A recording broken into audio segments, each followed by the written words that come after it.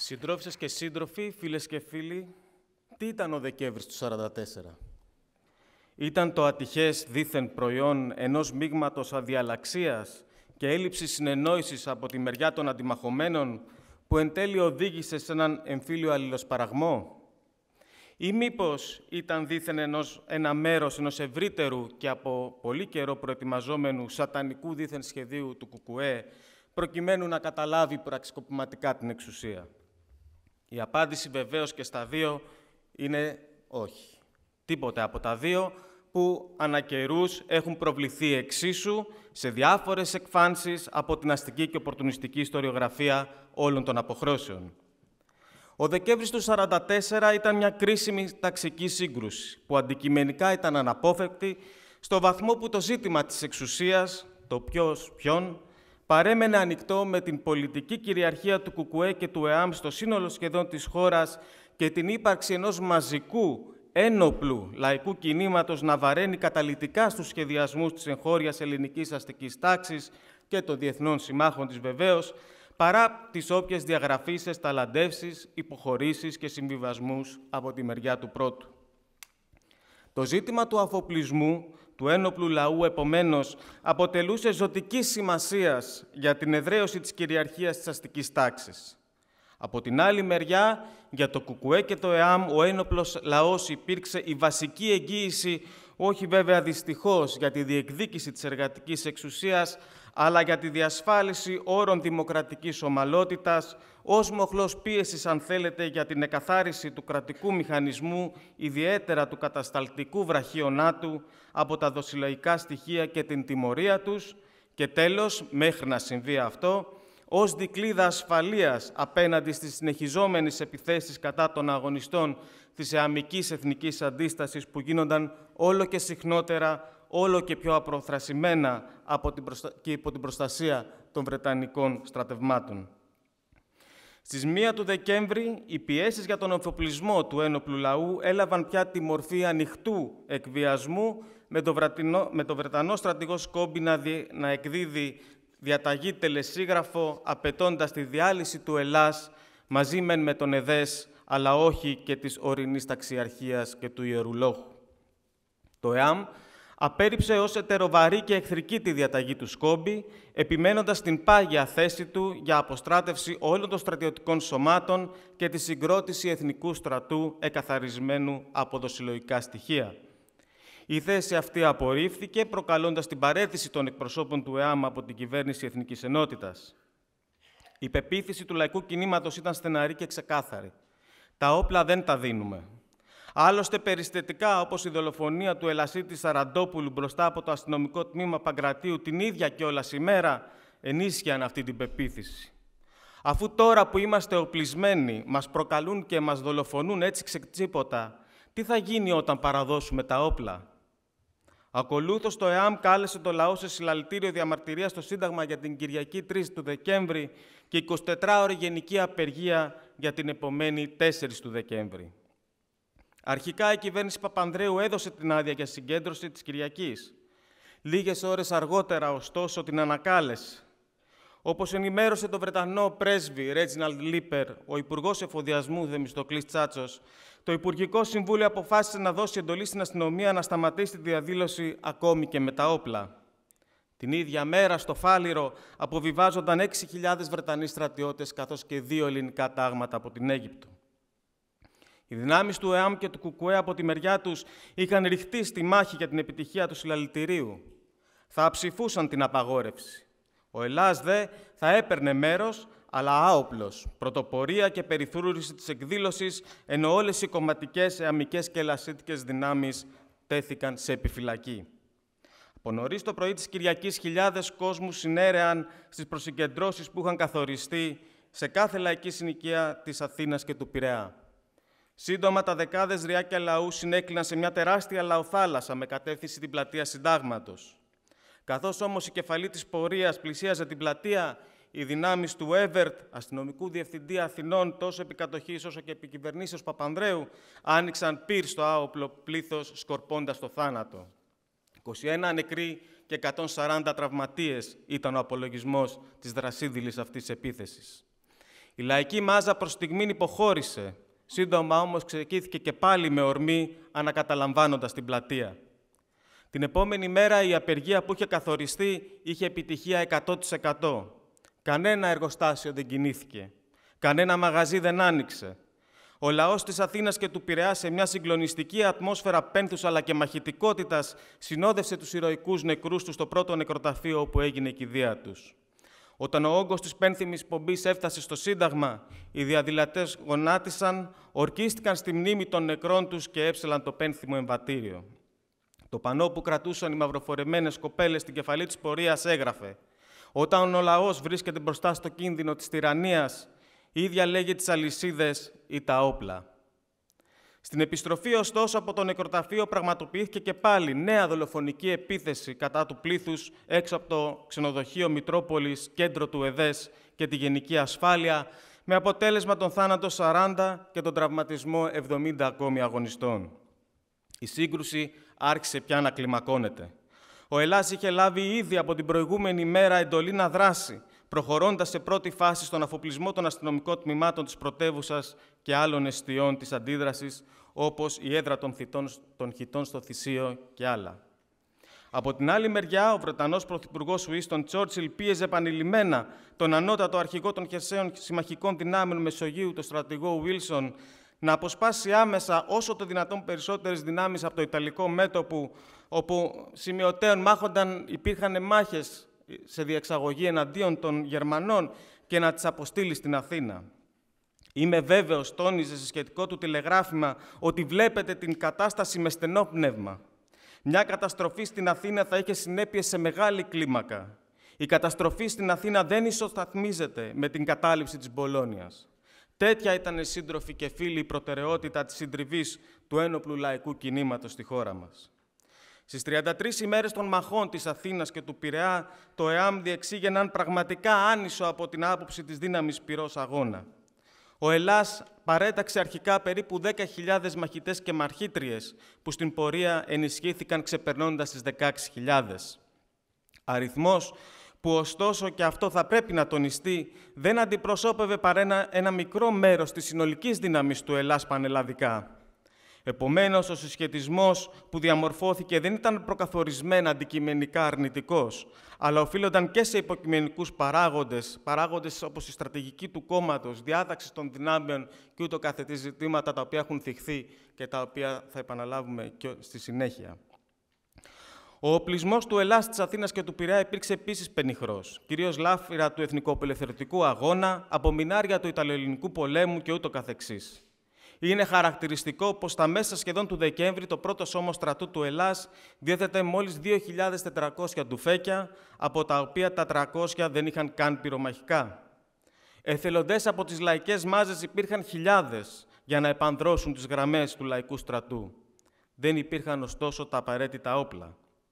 Από την άλλη μεριά, εναντίον του λαϊκού κινήματος κινητοποιήθηκαν συνολικά 60 με 80 χιλιάδες Βρετανοί και απικιακοί στρατιώτες, άρτια εξοπλισμένοι και εμπειροπόλεμοι, καθώς όπως είπαμε ήδη, οι περισσότεροι εξ αυτών μεταφέρθηκαν στην Αθήνα από τα μέτωπα της Ιταλίας. Με την υποστήριξη δεκάδων αεροπλάνων, αρμάτων μάχης, βαριών πυροβόλων και των κανονιοφόρων του Βρετανικού στόλου, που κυριολεκτικά ισοπαίδωσαν ολόκληρες συνοικίες της Αθήνας και του Πειραιά, εκμηδενίζοντας τη Σερήπια. Οι Βρετανοί δεν δίστασαν να τοποθετήσουν βαρύ οπλισμό ακόμα και στην Ακρόπολη, παρότι είχε συμφωνηθεί από τον Ελλάς να μείνει ο ιστορικός αυτός χώρος έξω από τις συγκρούσεις για ευνόητους λόγους. Δεν δίστασαν επίσης να βομβαρδίσουν ακόμα και νοσοκομεία ή ουρές εισιτίων του Ερυθρού Σταυρού, οτιδήποτε προκειμένου να τσακίσουν το ηθικό του μαχόμενου λαού της πρωτεύουσας. Αυτή όμως είναι η ομότητα και η σκληρότητα της ταξικής σύγκρουσης. Μαζί τους πολέμησαν επίσης 11.000 περίπου άνδρες της ορεινής ταξιαρχίας, του Ιερού Λόχου, της Χ, της χωροφυλακής και άλλων αστικών ένοπλων σωμάτων, καθώς και 12.000 περίπου ταγματασφαλίτες, που αφού τους άλλαξαν στολή αναβαπτίζοντάς τους πατριώτες, τους εξόπλισαν και τους έριξαν στη μάχη κατά του λαϊκού κινήματος. Όπως παραδέχθηκε τρεις περίπου δεκαετίες αργότερα ο ίδιος ο Λεωνίδας Παΐς, υφυπουργός τότε στρατιωτικών, αποφασίστηκε να χρησιμοποιηθούν κατά του ΕΑΜ τα τάγματα ασφαλείας. Η εισήγηση ήταν των Άγγλων και η απόφαση δική μου. Δεν θέλω να δικαιολογήσω την πράξη μου, αλλά δεν γινόταν αλλιώς, καθώς η στρατιωτική μας δύναμη ήταν ανύπαρκτη. Συνολικά υπήρχαν 27.000 άντρε των ταγμάτων, χρησιμοποιήσαμε τους 12.000 τους λιγότερο εκτεθειμένους και οπωσδήποτε κανένα από τα σημαίνοντα στελέχη. Τους ντύσαμε και τους εξοπλίσαμε. Δεν είναι αλήθεια ότι δεν χρησιμοποιήθηκαν τάγματα ασφαλείας στα Δεκεμβριανά, όπως τότε και αργότερα ισχυρίστηκαν Άγγλοι και Έλληνες. Χρησιμοποιήθηκαν οι μισοί περίπου από όσους είχαν συλληφθεί και αυτή είναι η αλήθεια. Παρά τη συντριπτική, την τρομακτική αυτή ανισότητα που διαμορφώθηκε στο πεδίο των μαχών από την άποψη των αριθμών και της δύναμης πυρός, ο Ελλάς είχε τέτοιες επιτυχίες που στις 11 Δεκέμβρη ο ίδιος ο στρατηγός Κόμπι πρότεινε την υποχώρηση των Βρετανικών στρατευμάτων από την Αθήνα, ως ότου τουλάχιστον συγκεντρωθούν οι απαραίτητες δυνάμεις για να καμφθεί ο ένοπλος λαός. Η απάντηση του Λονδίνου ήταν κατηγορηματική. Ο Σκόμπι διατάχθηκε να κρατήσει πάση θυσία τη θέση του. Οι απαραίτητες ενισχύσεις ήταν καθοδόν. Στις 25 του Δεκέμβρη κατέθεσε στην Αθήνα και ο ίδιος Βρετανός Πρωθυπουργός Winston Churchill. Πώς κράτησαν για 33 ολόκληρες ημέρες και νύχτες οι υπερασπιστές της Αθήνας και του Πειραιά απέναντι στα αεροπλάνα, τους βομβαρδισμούς, τα κανόνια και τα τάγκ του αντιπάλου; Μα με τον απαράμιλο ηρωισμό και την ανεξάρτητη δύναμη του οργανωμένου μαζικού λαϊκού κινήματος. Έτσι στήθηκαν μόνο σε ένα βράδυ, όπως είπε και ο σύντροφος Κολαρίκος, πάνω από 2.000 οδοφράγματα στον Πειραιά. Έτσι οι μαχητές και οι μαχήτριες του Ελλάς πολεμούσαν μέχρι την τελευταία τους σφαίρα ή μέχρι τον τελευταίο μαχητή, υπερασπιζόμενοι τις θέσεις τους ακόμα και αν αυτές ισοπεδώνονταν μέχρι τα θεμέλια. Έτσι αντιμετώπισαν τα τάγκς, μη διαθέτοντας αντιαρματικά όπλα, εκτεθειμένοι εξ επαφής με αυτοσχέδιες εμπριστικές βόμβες ή ρίχνοντας κουβέρτες ή και σκηνιά στις ερπίστριες. Έτσι ο Ελλάς κατάφερε νίκες ακόμα και σε, απέναντι σε ισχυρότατες αιστείες του αντιπάλου, όπως για παράδειγμα με την κατάληψη της Σχολής Ευελπίδων στις 11 Δεκέμβρη των Βρετανικών εγκαταστάσεων στα παραπήγματα στις 12 του μηνός ή του αρχηγείου της Βρετανικής αεροπορίας στην Κηφισιά στις 19. Έτσι δημιουργήθηκαν από τις πρώτες και όλες ημέρες των μαχών δεκάδες μονάδες περίθαλψης, επανδρομένες εθελοντικά από εκατοντάδες γιατρούς, νοσοκόμους και απλούς πολίτες που έσπευσαν να βοηθήσουν την υπόθεση του αγώνα καθώς μπορούσε ο καθένας μέρα και νύχτα. Γύρω τους εκτείνονταν ένα ευρύ και καλά οργανωμένο δίκτυο τραυματιοφορέων που με κίνδυνο τη ζωή τους και πενιχρά συχνά αυτοσχέδια μέσα έφερναν εις πέρας το δύσκολο έργο της διακομιδής των πληγωμένων. Έτσι λειτουργήσαν οι δεκάδες συνοικιακές λαϊκές επιτροπές που συγκρότησαν ένα αξιοθαύμαστο δίκτυο πραγματικά καταγραφής, συγκέντρωσης και διανομής των διαθέσιμων αποθεμάτων της πρωτεύουσας, μοιράζοντας χιλιάδες τρόφιμα και είδη πρώτης ανάγκης σε λαϊκές συνοικίες, με ειδική μέρημνα για τα παιδιά, τους πρόσφυγες των βομβαρδισμών και ούτω καθεξής. Πολλά θα μπορούσε να αριθμίσει κανείς πράγματι από τα αναρρύθμιτα παραδείγματα λαϊκού ηρωισμού, αυτοθυσίας και δύναμης ψυχής και πίστη στα ιδανικά την υπόθεση του αγώνα. Ωστόσο, έπειτα από 33 μέρες αδυσόπιτων συγκρούσεων, η συντριπτική υπεροπλία του αντιπάλου βάρινε αποφασιστικά στη ζυγαριά της μάχης της Αθήνας και του Πειραιά. Από τις 20 Δεκέμβρη η πρωτοβουλία των κινήσεων πέρασε πια στο αστικό στρατόπεδο με τον Ελλάς να περιορίζεται όλο και περισσότερο σε θέσεις άμυνας. Τελικά, στις 5 Ιανουαρίου, ο Ελλάς προκειμένου να αποφύγει την περικύκλωση, αναγκάστηκε να υποχωρήσει προς την κεντρική Ελλάδα μαζί με χιλιάδες άλλους πρόσφυγες από τον άμαχο πληθυσμό. Στην υπόλοιπη Ελλάδα, η έναρξη των μαχών σε Αθήνα και Πειραιά σηματοδότησε μία σειρά από μαζικές και μαχητικές κινητοποιήσεις, συγκεντρώσεις, συλλαλητήρια, ψηφίσματα διαμαρτυρίας και ούτω καθεξής, που ωστόσο βεβαίως ήταν σε σαφή αναντιστοιχεία με την οξυμένη μορφή την οποία είχε λάβει πλέον η ταξική πάλι στην πρωτεύουσα. Και αυτό παρά τις δυνατότητες που αναδείχθηκαν από μια σειρά ενέργειες του Ελλάς, όπως για παράδειγμα με την διάλυση των ταγμάτων εθνοφυλακής στον Πύργο, στην Πάτρα και αλλού, δίχως όμως αυτές να γενικευτούν στα πλαίσια μιας γενικευμένης ευρύτερης συνολικότερης εξέγερσης. Αντιφατικά εξελίχθηκε ο συσχετισμός από περιοχή σε περιοχή.